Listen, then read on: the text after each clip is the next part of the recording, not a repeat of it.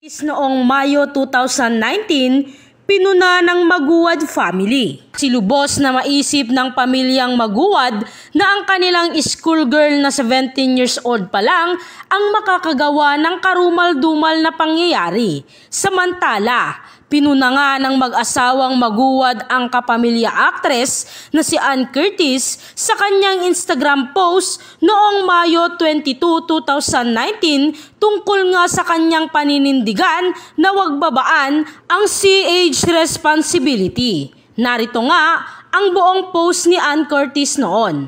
The debate on lowering the age of C responsibility is up for talks in the Senate And as a UNICEF Goodwill Ambassador, it is my duty to raise awareness and lend my voice to support the call of the Council for the Welfare of Children, civil society organizations, professional associations, child protecting experts, well-meaning citizens, parents, and the youth. I stand with them for not lowering the CH of responsibility but instead supporting the full implementation of the current law of the Juvenile Justice and Welfare Act. I understand that there are those who see differently but if you could only try and discern that they are still children, are victims of their circumstance and are still young enough to change their ways. Children in conflict with the law are already victim of circumstance, mostly because of poverty and exploitation by adults. Instead of being penalized, they should have access to proper rehabilitation where they can be properly cared for to understand what they may have done wrong learn to change their ways, and be given a second chance at life. The proper implementation of the current Juvenile Justice Welfare Act has proven to have many success stories that at UNICEF Philippines have shared with me. It cannot fail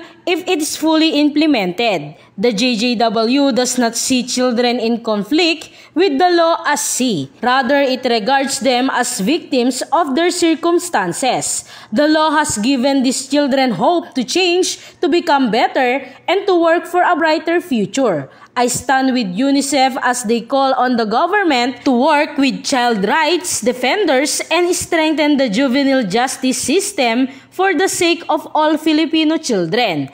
Hashtag children not see. Gayunpaman, hindi nga ito nagustuhan ni Lovella at ni Cruz ang post na iyon ni Ann Curtis kaya naman pinuna nila ito at dinaan sa isang post sa Facebook account nila. Mensahe ni Lovella Maguwad.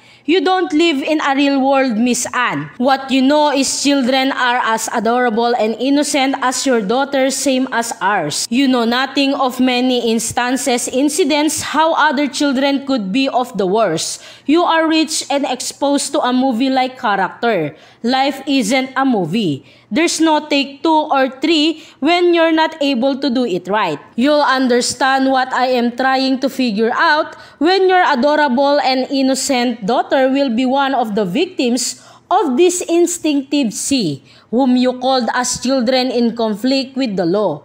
I'll deal with you when I'll be winning myself sanity again. Look at my promising daughter and son. They're not children of a popular or rich actress people like you or influential politician, but children of common members of the society who are trying to contribute something better and making a difference in the society. Taxpayers who have been genuinely touching more lives more than you.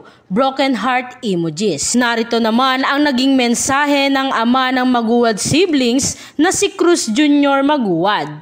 Ann Curtis, nagsusumamo ako sa iyo. Pumunta ka dito sa amin at mag-imbestiga about my children. Alam ko nagsisimba ka rin. Kaawaan mo naman ang mga anak namin. Alam kong naniniwala ka rin kay God.